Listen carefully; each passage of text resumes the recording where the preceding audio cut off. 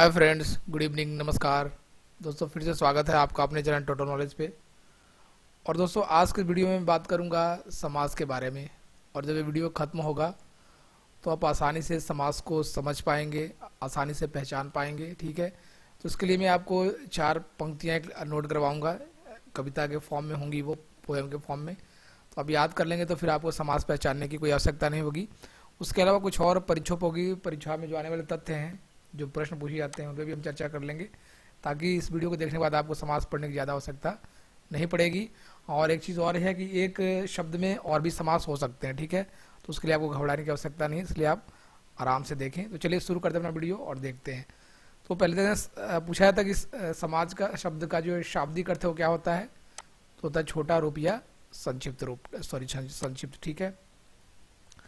दूसरा, समाज किसे कहते हैं? पूछा जाए आपसे। तो दो या दो से अधिक शब्दों से, ठीक है, आपको याद रखना अगर वर्ण आए तो होती है वो संधि। यहाँ हम गलती करते हैं। शब्द जो मिलते हैं तो होती है, वो होता है आपका समास, और जब वर्ण मिलते हैं वो होती है आपकी संधि, ठीक है? तो दो या दो से अधिक शब्दों से मिलकर बने हुए नए सार्थक शब्द को हम समास कहेंगे, और जब वर्ण मिलेगा क्या होगा वो समास होगा। एक प्रश्न और आता है कि समास, ये देख रहे हैं आप, समास, समासिक शब्द और समस्त पद क्या है? तो कुछ एग्ज़ाम पूछा जाएगा कि इसमें समासिक पद कौन सा तो लोग कन्फ्यूज़ जाते हैं। या समास पद पूछा तो लोग गलत कर जाते हैं। तो आपको याद रखना है, जो समास हो, समासिक शब्द हो या समस्त पद हो, तीनों एक ही हैं। इसलिए मैंने यहाँ पे कर दिया है कि दो या दो से अधिक शब्द अपने बीच की विभक्ति का लोप कर, जो छोटा रूप बनाते हैं, उसे क्या कहेंगे हम?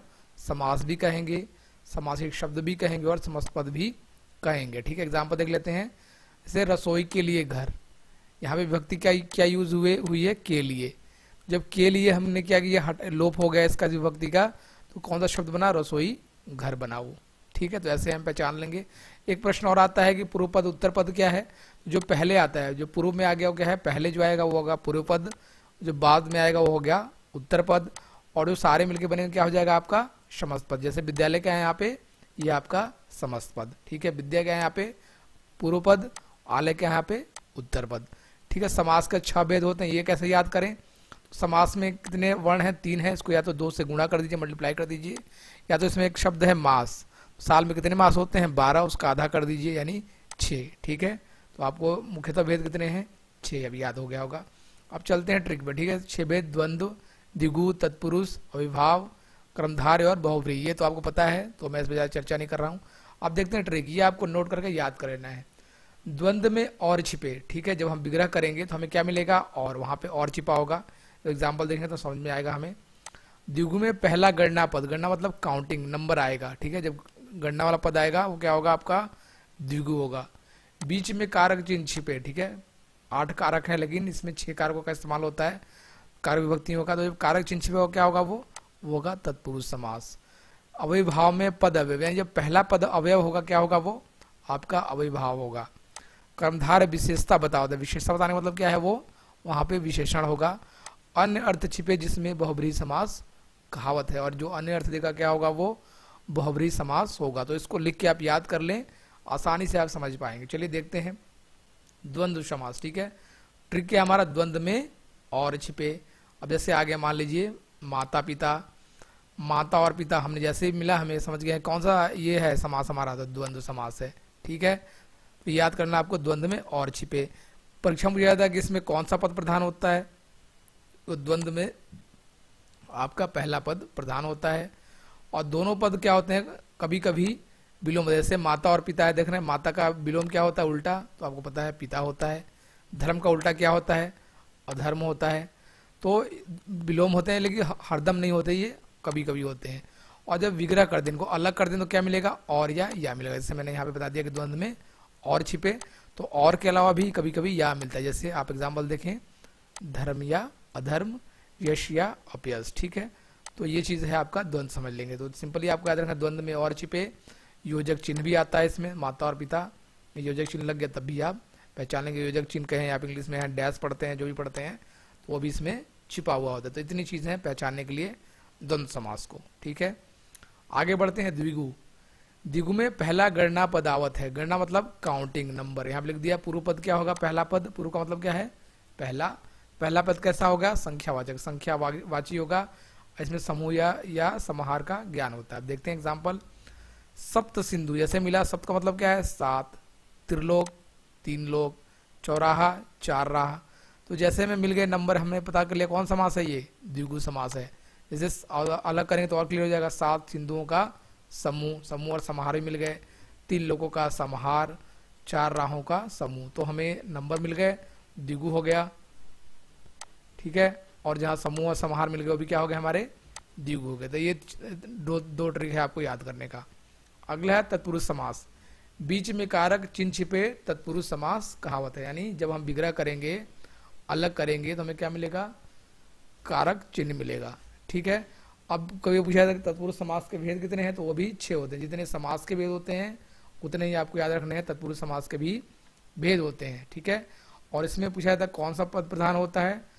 दूसरा पद या उत्तर पद, ठीक है, इसमें प्रधान होता है। एग्ज़ाम्पल देख लेते हैं छः और छः पता है आपको कि जो समास हैं, वो कितने होते हैं? सॉरी जो कारक हैं, वो आठ होते हैं, लेकिन जो आपका कर्ता कारक है और संबोधन है, वो इसमें शामिल नहीं होता, केवल छः होते हैं, कर्म होता है, कर्म से लेके संबोधन इसमें नहीं होता है, ठीक है? देखते हैं, पहला कर्म कारक का चिन्ह क्या है, आपको याद है? को है। जैसे ही हमें को मिलेगा, अलग करने पर कौन सा समास हो जाएगा? कर्म कारक तो हमें पता है, हमें कार्य कारक लिख देना है तत्पुरुष लिख देना है। तो बन को गमन, यानी बीच में कारक चिन्ह छिपे, तत्पुरुष समास को मिल गया। क्या है ये? कारक का चिन्ह तो कौन सा हो गया? ये तत्पुरुष समास हो गया।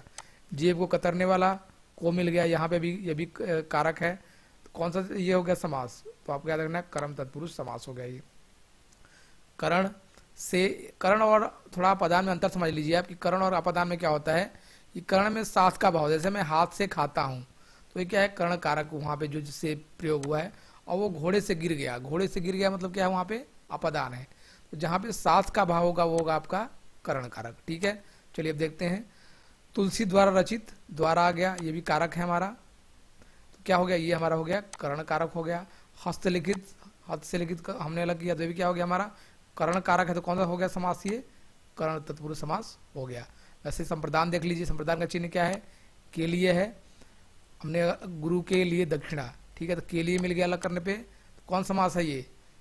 संप्रदान तत्पुरुष समास है, क्योंकि किसका चिन्ह है ये? संप्रदान कारक का चिन्ह है। आपदान बताया मैंने, से, लेकिन किससे होता है? अलग होने के अर्थ में होता है, ठीक है? जैसे एग्ज़ाम्पल देखें, देश से निकाला, यानी देश से क्या हो गया? वो बाहर चला गया, अलग हो गया। जैसे ये से मिल गया, से किसका चिन्ह है? अपदान कारक का। तो कौन सा समास होगा ये? अपदान तत्पुरुष समास होगा, ठीक है? वैसे धर्म विभुक भी देख सकते हैं, धर्म से विमुख अगला संबंध तत्पुरुष काके की रारेडी आपको पता है इसका होता है। तो जैसे संबंध में हमें अलग किया, हमने मिल गया प्रेम का सागर। का किसका चिन्ह है, संबंध कारक का। समास कौन सा होगा फिर? संबंध तत्पुरुष समास होगा, ठीक है? वैसे देख लेते हैं, अधिकरण का होता है मे, पेपर। तो जैसे हमने अलग किया, क्या मिल गया? वन में वास। तो कौन सा होगा ये? किसका चिन्ह है? अधिकरण कारक का है तो समास कौन सा होगा? अधिकरण तत्पुरुष समास हो जाएगा। घोड़े पर सवार, पर किसका है? तो ये भी है आपका अधिकरण कारक का चिन्ह है तो ये कौन सा हो जाएगा आपका? अधिकरण का हो जाएगा, ठीक है? तो ये छह वेद हैं। अगला देते हैं अविभाव। अविभाव में बताया मैंने कि जो पहला पद होगा, क्या होगा आपका? अव्यय होगा। अविभाव में पद अव्यय, ठीक है? जो पहला पद होगा, वो कैसा होगा? अव्यय होगा। और पहला पद इसमें प्रधान होता है, ठीक है? अव्यय बहुत से लोगों को समझ में नहीं आता है, जो ज़्यादा हिंदी नहीं पढ़ते। तो आपको याद रखना, सिंपली आपने उपसर्ग प्रत्यय पढ़ रखा है, ठीक है? उपसर्ग प्रत्यय जो क्लास सिक्स से पढ़ाया जाता है छठी कक्षा से। तो जब पहला पद जो पूर्व में उपसर्ग आ जाए तो क्या होगा आपका? वो भी अविभाव समास हो जाएगा। वैसे जो अवय होते हैं, वे लिंग, वचन, कारक, काल के अनुसार नहीं बदलते, उन्हें अवय का जैसे लड़का धीरे धीरे दौड़ता है, लड़की धीरे धीरे दौड़ती है धीरे धीरे क्या है यहाँ पे? एक अव्यय हो, क्योंकि चेंज नहीं हो रहा, लेकिन दौड़ना, दौड़ती है और दौड़ता है चेंज हो रहा है। ठीक है? जैसे देख लें आप, यथाशक्ति क्या है? उपसर्ग है। यहाँ भी उपसर्ग है। ठीक है? बाद में शब्द लग के इसके बदल बदल दिए इसने। ये ये भी है। जब ऐसे उपसर्ग टाइप के भी अगर सिंपली आपको अव्यय याद नहीं हो रहा है तो आप उपसर्ग समझ के इसे याद कर लें तो भी क्या होगा आपका? अवयी भाव समास होगा, यानी ये अव्यय है, अव्यय क्या होते हैं, जो लिंग, वचन, काल कारक अनुसार नहीं बदलते हैं, कभी चेंज नहीं होते हैं, ठीक है? आगे बढ़ते हैं। अव्यय एक और आता है अविभाव में। अविभाव में क्या होता है, जब एक शब्द रिपीट हो जाए, उसकी पुनरावृत्ति हो जाए, यहाँ लिखा हुआ मैंने, एक शब्द की पुनरावृत्ति हो जाए रिपीटेशन हो जाए, वो एक बार और आ जाए तो शब्द भी क्या होते हैं? वो भी होते हैं आपके अविभाव समास। जैसे एक बार साफ़ आ गया, फिर दूसरी बार आ गया। तो साफ़ साफ़ कौन समास हो गया ये? ये हो गया आपका अविभाव समास। घर घर कौन सा समास हो गया? दो बार आ गया, ये भी हो गया आपका अविभाव समास। हाथों हाथ, दो बार आ गया, ये भी हो गया आपका अविभाव समास। यानी जब एक शब्द की पुनरावृत्ति हो जाए, रिपीटेशन हो जाए, दूसरी बार आ जाए तो भी आपका अविभाव समास होता है। ठीक है? अगला है क्रमधार। क्रमधार क्या करता है? विशेषता बतावत है। यानी विशेषता बताने कौन काम करता है ग्रामर में? विशेषण, ठीक है? तो जिस यानी इसमें विशेषण होता है। पूछा जाता है कौन सा पद प्रधान होता है? आपका रखना, उत्तर पद प्रधान होता है। और पहला पद क्या होता है? विशेषण होता है। वही क्या करता है? विशेषता बतलाने का काम करता है। और विशेषण विशेष से संबंध होता है, ठीक है? और विग्रह करने पे क्या मिलेगा हमें? है, जो के समान मिलेगा। लेकिन सबसे बड़ा ट्रिक हमारा क्या है? कर्मधार विशेषता बतावत है। यानी कर्मधार क्या करेगा? आपको विशेषण रूपी देगा मतलब वो विशेषता बताने का कार्य करेगा। जैसे नीलकंठ, नीला क्या है? कलर है, एक रंग है। क्या कर रहा है? कंठ की विशेषता बता रहा है। कंठ कैसा है? नीला है। आनंद है कैसा? परम है आनंद, ठीक है? तो दोनों क्या है? विशेषण है। देख रहे हैं हम? नीला कंठ कलर है। तो हमें पता चल गया, जैसे पहला पद विशेषण आ गया विशेषण बता रहा है किसकी? कंठ की। कंठ कैसा हमारा? नीला है जो कंठ। बता रहे हैं, कंठ के बारे में कि कंठ कैसा है? नीला है। तो हम समझ जाए क्या है वो? हमारा कि वो कौन समास है? कर्मधार्य समास है। इसमें लिखा है कि पहला पद विशेषण हो और क्या करता है? वो विशेषता बताता है। विशेषता बताने काम किसका कर रहा है? वो कंठ का, ठीक है? आनंद कैसा है? तो परम है। बहुत आनंद है, ठीक है? तो हो गया परमानंद। अगला है बहुब्रीही बहुब्रीही का क्या है? कि बहुब्रीही अन्य अर्थ छिपे, जिसमें बहुब्रीही समास कहा होता है, जिसमें हम जो शब्द पढ़ रहे हैं, उसका वो अर्थ ना होके कुछ और अर्थ हो तो क्या होगा? वो बहुब्रीही समास होगा। और इसमें दोनों में से कोई प्रधान पद प्रधान नहीं होती है, इसमें कोई अन्य पद प्रधान होता है, ठीक है? जैसे लंबोदर। सिंपली पढ़ना लंबोदर कहते कहते किसको है लंबोदर? भगवान गणेश को। यानी लंबा है उधर जिसका, लेकिन बात किसकी हो रही है भगवान? गणेश की। दशानंद दस है आनंद जिसके, लेकिन बात किसकी हो रही है यहाँ पे? रावण की। यानी जो हम पढ़ रहे हैं, उसका वो अर्थ ना मिलके अन्य अर्थ हमें मिल रहा है। हमारा ट्रिक क्या है?